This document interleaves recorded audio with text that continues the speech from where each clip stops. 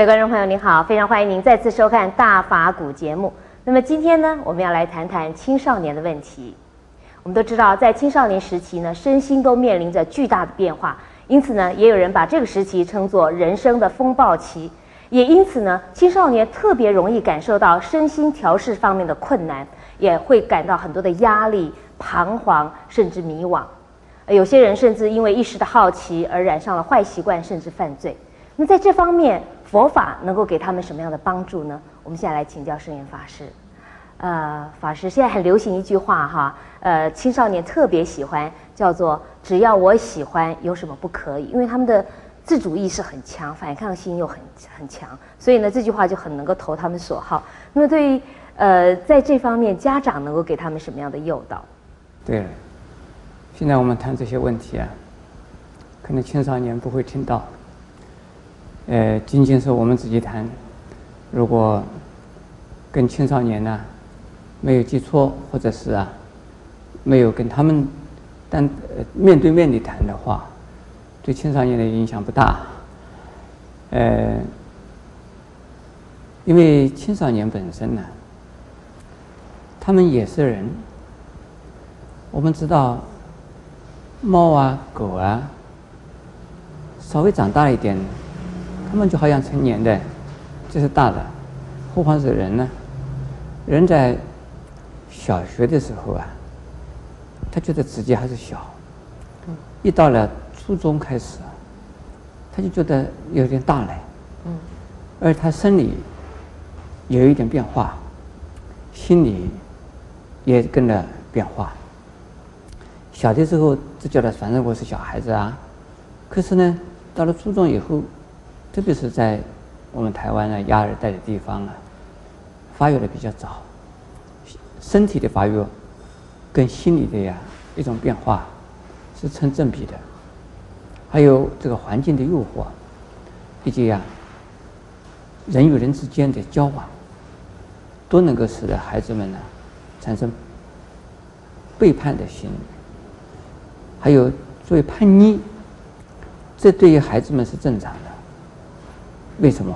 因为这过去的父母啊对他们的。一种管教，一种填鸭式的教育要求和啊指导，甚至于责骂。但是稍微长大一点以后，他们觉得自己应该有自己的天地啊，自己应该有自己思想的空间，自己应该呀有自己的活动的范围啊。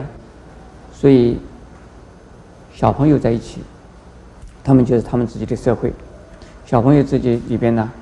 也有领袖人物啊，也有啊，他们各种各样的角色的人物啊。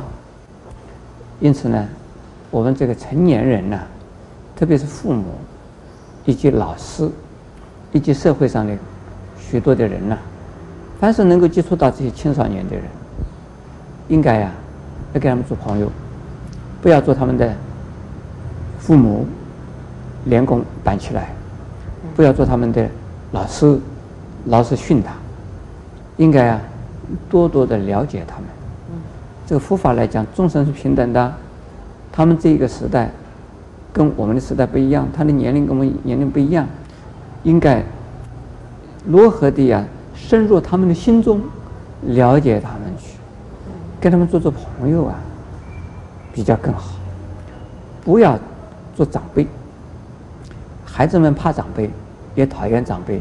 这个时候，你跟他做朋友，是啊，最能够得到他们的呀，这个信赖的。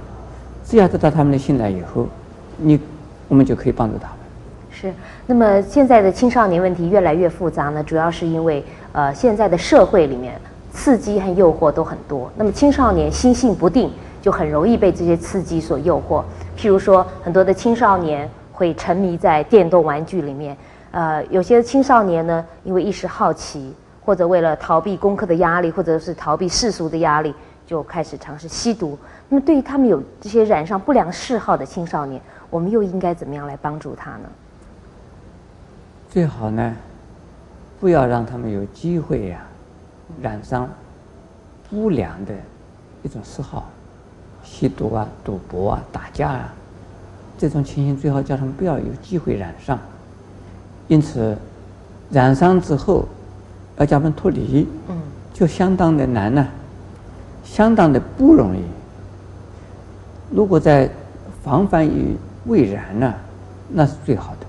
所以家里有小孩，或者是呢亲戚家里有小孩，或者是自己家里有弟妹，最好呢常常给他们做做朋友，了解他们的心情的苦闷是什么，分享他们的呀快乐，也分担他们的呀不满意。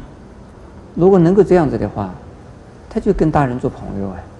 他在家里边已经得到了安慰，他不需要到外边去另找出路啊，那也就没有机会啊，是作于啊，嗯，这样的场所，也不容易接触到那样的人，因为青少年呢，一种就是不良青少年要找的对象，都是找的那些失魂落魄的小孩，那些背叛家庭的小孩，或者是流浪街街头啊不想回家的小孩。是这样子的情况下，才能够接触到那些不良少年的。如果小孩子家里觉得很温暖，学校里边老师觉得很很可爱、很可敬，他怎么可能呢？接触到那些人去呢？就是接触到了，他自己也一定有提高警觉性。嗯哼。所以家庭和学校都应该扮演很重要的角色。还有社会。还有社会是。那么另外一方面呢？青少年往往都会面临沉重的课业压力，尤其是升学压力。那么很多青少年受不了这种压力呢，就开始逃避或者是自暴自弃。那么在这方面的话，呃，我们成人又可以给他们什么样的帮助和鼓励？其实呢，这些情况呢，呃，多多少少任何一个小孩都可能发生过，连我自己也发生过。所以不要对小孩这个孩子的这个。逃学，或者是呢，偶尔就不想读书啊，就给他有很大的压力。应该给他鼓励，应该给他安慰。没关系啊，你累了吗？休息一下子。这个学期没考好试，没关系啊，慢慢的，这个等你觉得精神好一点、身体好一点的时候，一定读好书的。大概现在压力太重了，所以你的头脑转不过来了。没关系，休息一下子，或者是他想休息，就让他休息。甚至于带他出去旅行，带他去玩，不要老是逼着小孩子用压他们、逼他们。你一定要成龙啊，一定要成凤啊，一定要要考试要考到八十分啊、九十分啊。你如果考不到的话，你丢我们家的脸呢？这样子的一种爱，教育法，小孩子会反抗，他会觉得读书不是为自己读的，是为父母而读的。谢谢师傅开始。